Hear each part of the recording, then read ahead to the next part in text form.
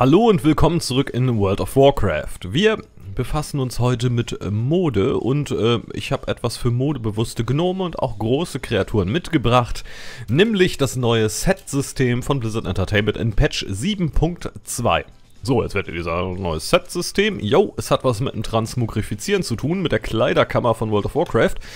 Wenn ihr da jetzt hingeht zu einem Transmogrifizierer und ihr geht jetzt hier auf Sets, dann könnt ihr sehen, oh, ihr könnt ein ganzes Set auswählen und dann direkt übernehmen. Der Unterschied zwischen diesem neuen System und dem alten System ist, vorher konntet ihr oder ihr könnt es immer noch später eigene Sets erstellen, indem ihr ganz normal hier irgendwas auswählt und dann speichert oben. Und Sets sind vorgefertigte Teile, nämlich die Tier-Sets zum Beispiel und die Season-PvP-Sets. Das Ganze findet ihr dann nachher hier unter Sammlung. Hier habt ihr einmal eure normalen Vorlagen, die ihr so angesammelt habt und hier sind jetzt alle Sets aufgelistet. Und es ist so, dass es hier unten beginnt immer mit den ganz alten, also in der Geschichte von World of Warcraft könnt ihr nach oben gehen, bis ihr dann irgendwann hier oben angelangt, äh, angelangt seid, bei dem aktuell hier nicht, aber hier, bei dem aktuellsten Grabmal von äh, des Sagerers. Und ihr könnt schon sehen, dass alles, was grün leuchtet, das bedeutet so viel wie hier habt ihr Teile gesammelt, hier ist nur eins, aber dann leuchtet es auch.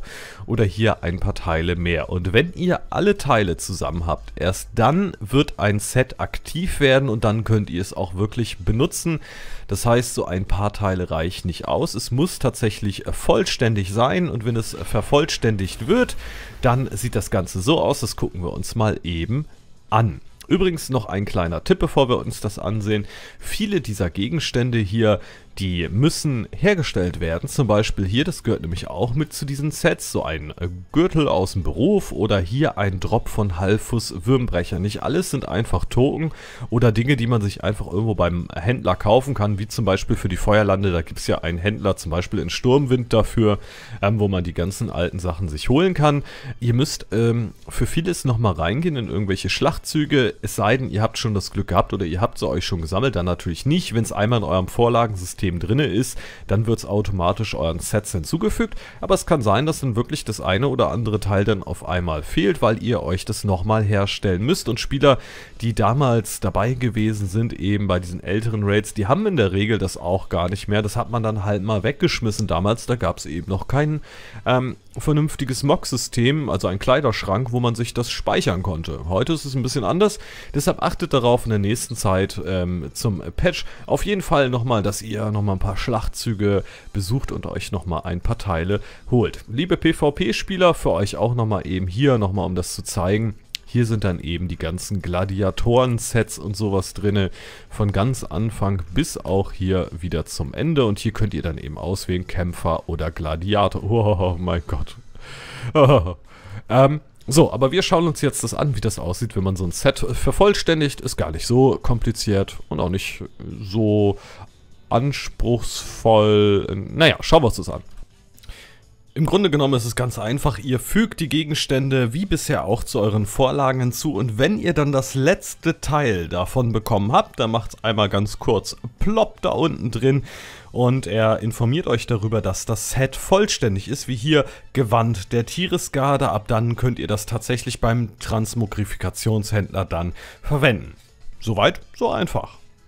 Bestimmt sind jetzt noch ein paar Fragen übrig geblieben, denn es gibt hier noch mehr Feature. Zum Beispiel, was ist denn, wenn die Bastion des Zwielichts zum Beispiel mehrere Schwierigkeitsstufen hat oder irgendein anderer Raid? Ich nehme mal jetzt hier Ornat des Arkanen Sturms, was im nächsten Patch kommt. Jetzt gibt es ja eben eine normale Version, eine heroische Version und Schlachtzugsbrowser. Man hat dann hier die Möglichkeit mit einem kleinen Knopf hier zum Beispiel sich anzugucken, okay, grün ist also LFR, normal ist rosa, heroisch ist dann das hier und am Ende golden ist mythisch. Und genauso kann man das bei allen anderen Sachen machen und wo es keine gibt, ja, da gab es eben keine Sets. Damals zum Beispiel im geschmolzenen Kern gab es halt nur ein Set, da gibt es also auch keinen Reiter, hier auch nicht. Und das fängt dann irgendwann an, da kann man so schön zurückgucken hier. Nax Ramas, äh, da gab es dann im 10er, 25er unterschiedliche Ausrüstung. Hier das noch 10er, 25er und irgendwann begann das dann langsam mit heroisch und äh, mythisch. Ähm, das war dann später alles, aber das könnt ihr euch dann alles so ansehen. Vom Filter her ganz klar, es gibt dann eben halt nochmal PvE, PvP. Auch hier die alten Sets wieder. Ihr könnt wieder sehen, was ihr schon davon habt und was nicht. Könnt auch ein bisschen reinzoomen. Und das war das von der Funktion dann eigentlich schon gewesen. Das Ganze ist recht einfach aufgebaut, aber eine ziemlich coole Sache für alle, die Sammler sind von Ausrüstungsgegenständen. Ich kann euch jetzt schon einen Tipp geben, wenn ihr nachher also anfangen wollt, diese Sets vollständig zu haben, solltet ihr nochmal jeden Raid mal mindestens einmal vorher besuchen, um wirklich auch so andere Teile wie so Armschienen zum Beispiel oder sowas mal äh, mitzunehmen. Dann habt ihr es nachher schneller alles voll, könnt ihr jetzt schon mit anfangen. Das wird nachher aus euren bekannten Gegenständen einfach übernommen und dann automatisch hier eingefügt. Und damit wünsche ich euch viel Spaß mit der neuesten Mode in World of Warcraft Legion Patch 7.2. Hey, hat dir das Video gefallen, dann lass einen Like da, abonniere uns und stell die Kanalbenachrichtigung ein. Oder schau dir das hier an. Wenn du dann immer noch mehr möchtest, jeden Freitag und Samstag sind wir live für dich im Stream.